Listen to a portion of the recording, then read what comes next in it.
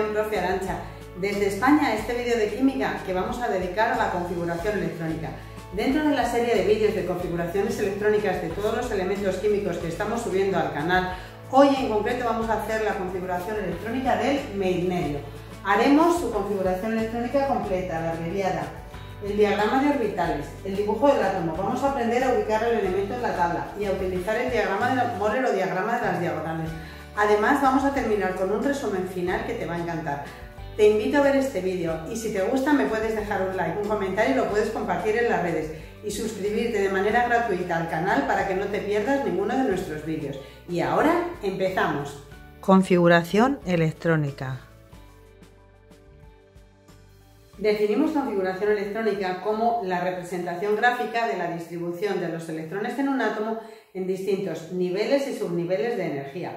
Esta definición la vamos a entender mejor si vemos por un lado el dibujo del átomo y por otro lado el diagrama de Moller. En este dibujo del átomo vemos que en esta zona central, que es el núcleo, ahí estarían los protones, que no tienen carga positiva, y los neutrones que no tienen carga eléctrica y repartidos en estos diferentes niveles de energía.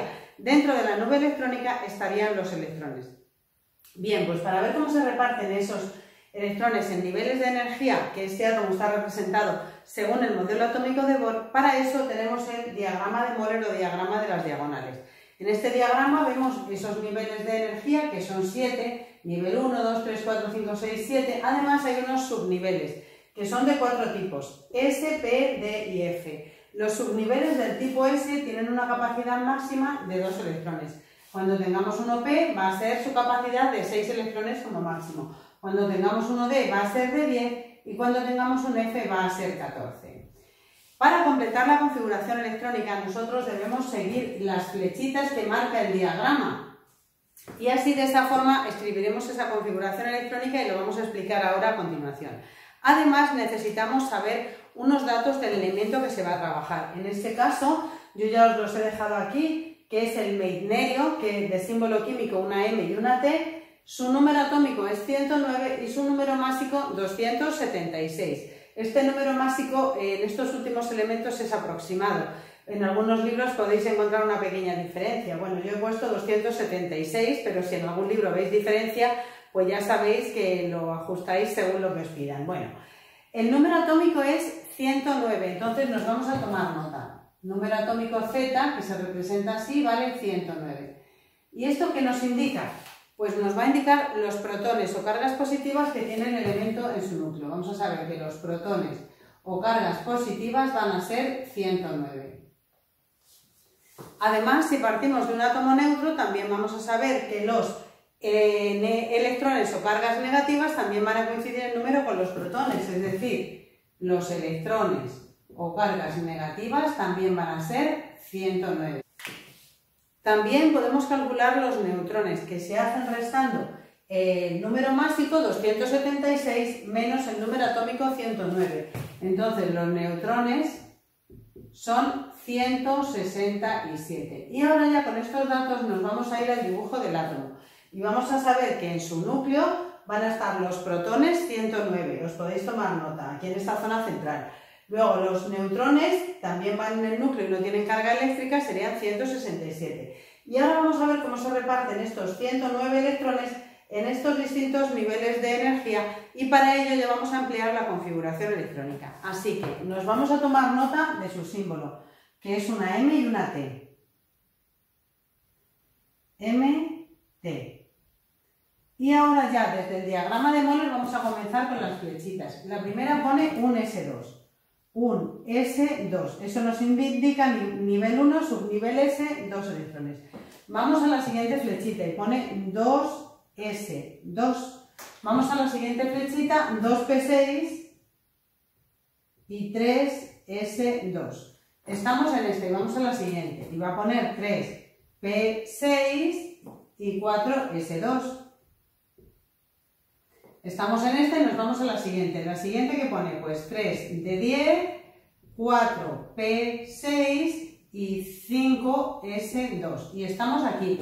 Y nos vamos a la siguiente. Y vamos colocando lo que vemos. 4 de 10. Eso sí, debéis tener en cuenta que vamos colocando siempre la capacidad máxima de cada uno de los subniveles, porque como vamos a trabajar una configuración electrónica muy larga, hay que escribir la capacidad máxima hasta llegar al final. Entonces, estamos en el 4 de 10. Seguimos aquí. 5 P6.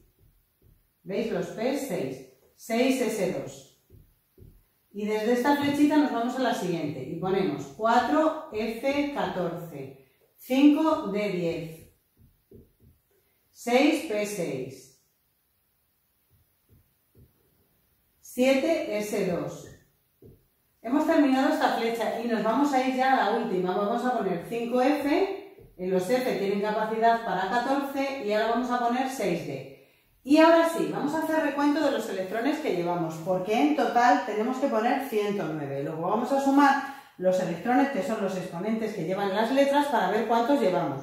2 y 2, 4, y 6, 10, y 2, 12, y 6, 18, y 2, 20, y 10, 30, 36, 38, y 10, 48, y 6, 54, y 2, 56, más 14 son 70, y 10, 80, 86, 88, y 14 son 102. Hasta 109 pues van 7. Luego en el D vamos a poner aquí D7.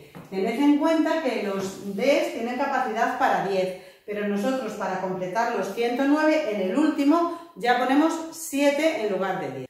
Ahora vamos a ver la posición que ocupa este elemento en la tabla periódica por medio de la configuración electrónica. Vemos que aquí están los niveles de energía, 1, 2, 3. Vamos a fijarnos en el más alto de todos, 4, 5. El más alto de todos es el 7. Eso nos va a indicar el periodo en el que está el, elemento. Va a estar en el periodo 7, en esta fila horizontal de la tabla periódica. ¿Por qué? Porque tiene 7 niveles de energía. El periodo nos indica en un elemento los niveles de energía que tiene. Además, vamos a poder también saber su grupo. Si ya en vídeos anteriores hemos ido trabajando todos los que terminaban en F, que iban en ese bloque aparte, ahora ya estamos con los que terminan en D. Y aquí vemos D7. Pues es muy sencillo, porque aquí en la tabla periódica, en esta zona, están los que terminan su configuración en S. En este bloque P están los que terminan su configuración en P. Y en este bloque D están los que terminan la configuración en D. Luego es muy sencillo. Si contamos dentro de los D el 7 sería 1, 2, 3, 4, 5, 6, 7. Luego estaría en el grupo 8B según la nomenclatura tradicional y este grupo correspondería, como justo está en este del centro de los 8, correspondería al grupo 1, 2, 3, 4, 5, 6, 7, 8, el grupo 9 dentro de la tabla periódica. Ahora, que serían los elementos de transición o los metales de transición, es decir, este elemento estaría a su posición esta y sería uno de los elementos de transición. Desde la configuración electrónica completa podemos también trabajar la configuración abreviada y para ello vamos a localizar el gas noble anterior. Vamos a buscar el gas noble de referencia, estábamos aquí nuestro elemento que estaba en el periodo 7, luego hay que buscar el gas noble que está en el periodo 6, el gas noble anterior en número atómico. Los gases nobles ocupan este grupo, el grupo 8A o grupo 18. En el periodo 6 el gas noble que hay es el radón, luego el gas noble de referencia en este caso pues va a ser el radón. Y vamos a copiar desde aquí, vamos a marcarlo, hasta el P6 toda esta parte es radón. Luego para escribir la configuración abreviada del meitnerio pues basta con poner meitnerio, ponemos MT y ahora ponemos radón ya no se va a escribir toda esta parte y vamos a poner 86 electrones, os lo recuerdo ahí para que sepáis los que son, no hace falta ponerlo. Y añadimos esta parte final que sería 7S2, 5F14 y 6D7. La suma de los electrones tiene que dar también 109, 86 y 288, más 14, 102 y 7, 109. Luego ya está correcta la configuración abreviada basada en la del radón. Ahora vamos a trabajar también el diagrama de orbitales, que es otra manera de escribir la configuración electrónica y se basa en copiamos la configuración electrónica completa del elemento, lo vamos a copiar. Yo aquí ya tengo copiada la parte que corresponde al radón y ya está escrita, el diagrama de orbitales lo he dibujado ya, lo que corresponde al radón. Y ahora vamos a completar esta parte final, la copiamos. 7S, 5F y 6D. Esta parte que corresponde al radón, si la queréis ver, la tenemos subida al canal eh, en un vídeo ya dedicado a la configuración electrónica del radón. Podéis buscar configuración electrónica Profi Arancha del radón y justamente ahí os va a salir eh, y la explicación de cómo se hace toda esta parte. Ahora solamente vamos a explicar ya esta parte final. Entonces, vamos a hacer primero los orbitales. Aquí tenemos eh, orbital del tipo S. Su capacidad es de dos electrones. Luego vamos a hacer la mitad de orbitales. Un orbital. Ahora tenemos aquí los, el F. El F tiene capacidad para 14. Luego vamos a hacer 7 orbitales. 1, 2, 3, 4, 5, 6, 7. Y los Ds tienen capacidad para 10. Luego vamos a hacer 5 orbitales. 1, 2, 3, 4 y 5. Y ahora vamos a ver cómo se completan. Cuando tengamos los S, tienen capacidad para 2. El primer electrón entra con flechita hacia arriba su spin va a valer más un medio y va a girar en sentido horario, en sentido de las agujas del reloj. El segundo electrón, con flechita hacia abajo, su spin va a valer menos un medio y va a girar en sentido contrario a las agujas del reloj. Ahora tenemos aquí F. En el F hay que poner 14. Bueno, pues va a entrar un electrón en cada uno de los orbitales, hasta que todos estén semillenos, todos con flechita hacia arriba. 1, 2, Ahora que todos los orbitales tienen un electrón, es decir, están semillenos, ya comienzan a entrar otra vez desde el principio y ya con flechita hacia abajo los otros 7. Este sería el 8, 9... Ya tendríamos así los 14 del F. Y ahora en el D, que debemos poner 7, pues vamos a hacer igual que antes. Vamos a hacer un electrón en cada orbital. 1, 2, 3, 4 y 5. Como en total hay que poner 7, pues vamos a, colocar uno en el primero, este sería el 6, y voy a colocar aquí yo el 7 con flechita hacia abajo. Este es el último que entra en la configuración electrónica y se le llama electrón diferencial o diferenciador porque diferencia este elemento de otro. Su spin vale menos un medio porque veis que tiene la flechita hacia abajo. Os lo digo porque luego al trabajar los números cuánticos pues es muy importante saber cuál es el último electrón y justamente va a ser ese. Bueno, ahora vamos a explicar cómo se hace este dibujo del átomo y la distribución de electrones por capas o niveles. Vamos eh, a hacerlo por medio de la configuración electrónica. Vemos aquí en el nivel 1 que tenemos hechos dos electrones, yo voy a poner aquí un 2, pero eso viene de que aquí en el nivel 1 hay dos electrones. Ahora vamos a ver en el nivel 2, que es este, tiene 2 y 6, 8 electrones. En este nivel verde hay 8, pues ponemos aquí un 8. El siguiente nivel es este rojo, que es el nivel 3, que es esto y esto, y tiene 2 y 6, 8 y 10, 18 electrones. Pues vamos a poner aquí 18. Ahora el siguiente, que es el nivel 4, va a tener esto, esto, esto. Y esto es nivel 4. 2 y 6, 8 y 10, 18 más 14 son 32 electrones. 32. El siguiente nivel, que es este azul, es el nivel 5, 5, 5 y 5, que va a tener 2 y 6, 8 y 10, 18 más 14, otros 32 electrones. El siguiente nivel este, que es el nivel 6, que es esto, esto y esto, tiene 2 y 6, 8, 8 y 7 son 15 electrones. Luego en este nivel que tenemos 1, 2, 3, 4, 5, 6, 7, 8, 9, 10, 11, 12, 13, 14 y 15. 15 electrones. Y la última capa ocupada por electrones, que es este nivel 7, tiene 2 electrones, luego 2. Esta sería ya la distribución de electrones por capas o niveles. 2, nivel 1, 8 nivel 2, 18 nivel 3, 32 nivel 4, 32 nivel 5, 15 nivel 6 y 2 nivel 7. La última capa ocupada por electrones, la capa 7, que es esta roja. ¿Cuántos electrones tiene? Pues tiene dos.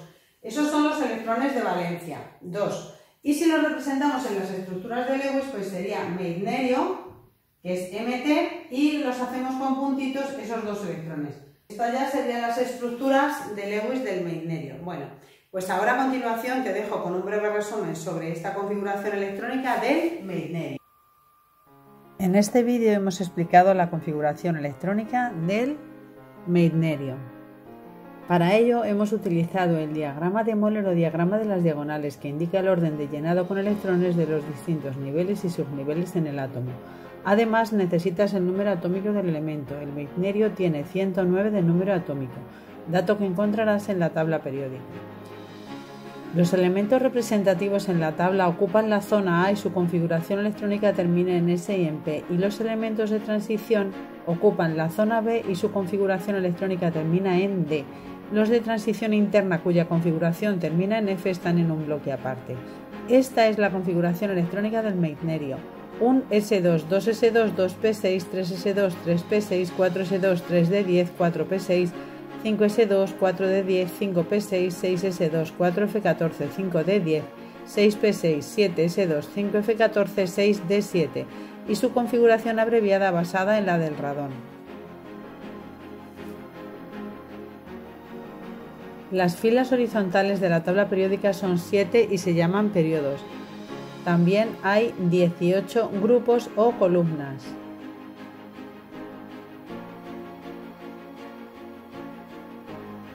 Con estos cuatro bloques podrás ubicar los elementos en la tabla. El bloque S a la izquierda, el bloque P a la derecha, el bloque D en el centro y el bloque F donde se encuentran los elementos de transición interna lantánidos y actínidos.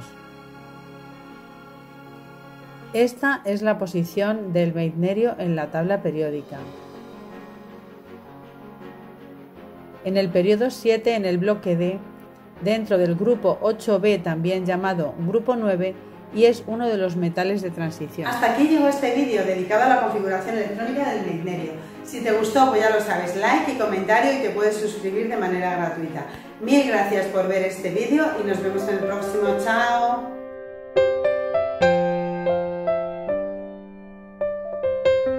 Visita la web profearancha.es.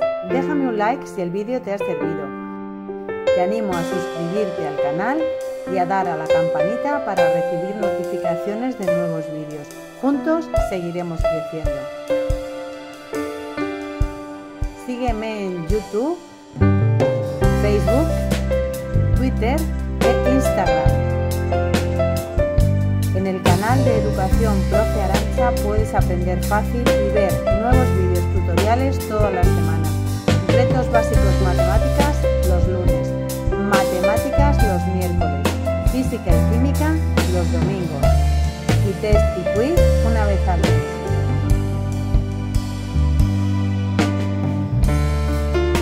Aprende, estudia, practica y aprueba. Con trabajo y constancia todo es posible. Nos vemos en el